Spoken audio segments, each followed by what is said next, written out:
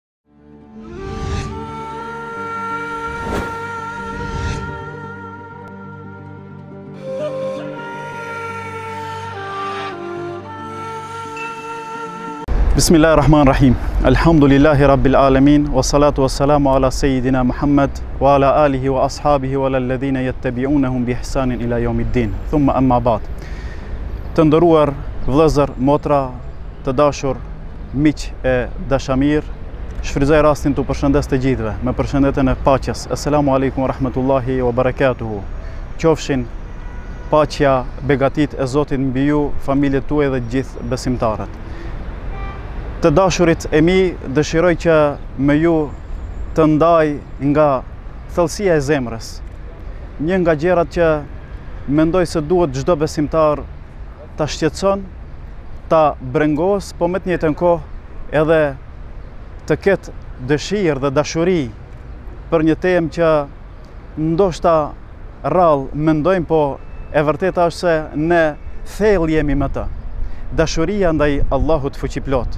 Të dashurit e mi, unë dëshiroj që të ndaj thënie të Zotit fuqiplot, ku ai më mirë din ta shpreh dashurinë ndaj robit të tij dhe kështu shpresoj që të reflekton njëjtë edhe nga robi drejt Zotit dhe drejt krijuesit të tij.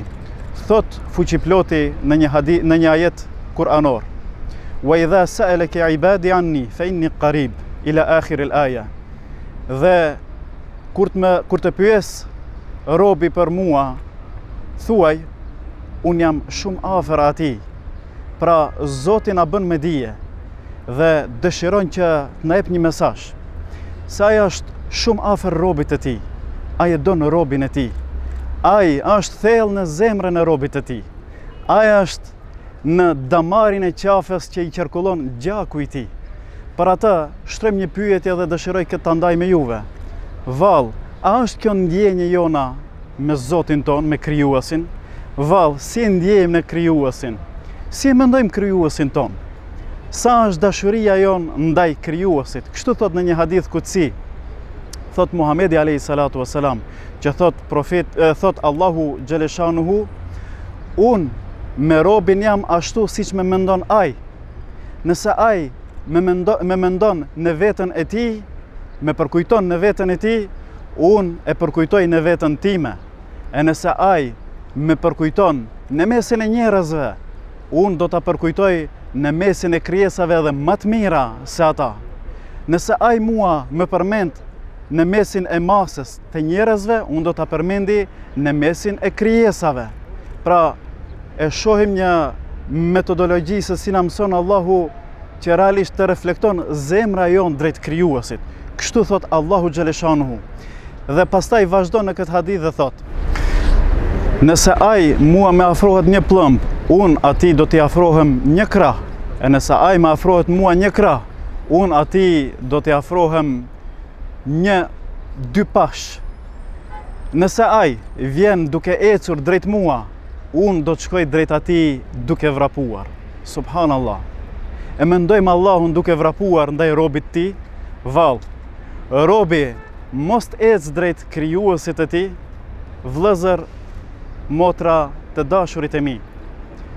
Unë me të vërtetë dëshiroj prej këtyre haditheve, prej këtyre mesazheve hyjnore, të fillojmë Në zemrën tonë ta ndjejmë ma ndryshe Zotin e Gjithësisë.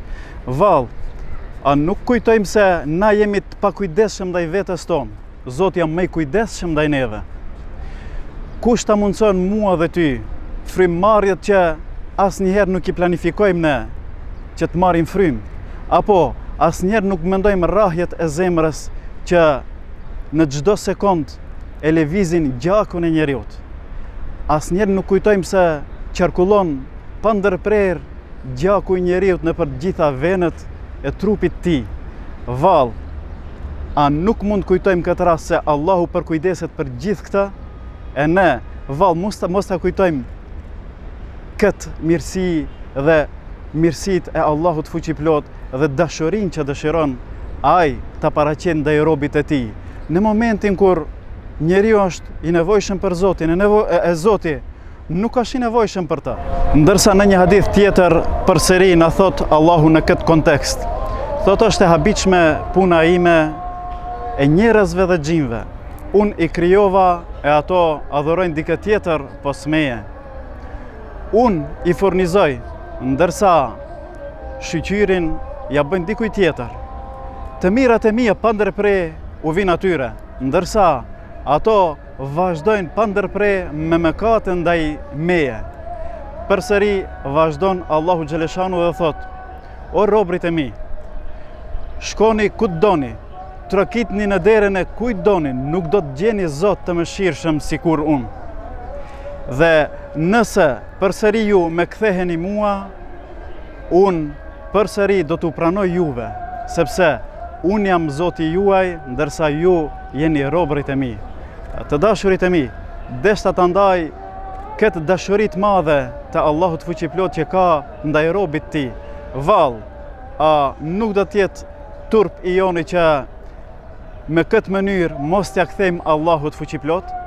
Për atë, Nëse dëshirojmë që të qetësojmë zemrën tonë, të i kthehemi krijuesit tonë, nëse dëshirojmë me të vërtetë që të ndërtojmë jetë të mirë në këtë botë, të i kthehemi ai i cili e krijoi jetën, nëse dëshirojmë që të arrijmë të ardhme të mirë, të i kthehemi atij ai i cili e krijoi të ardhmen.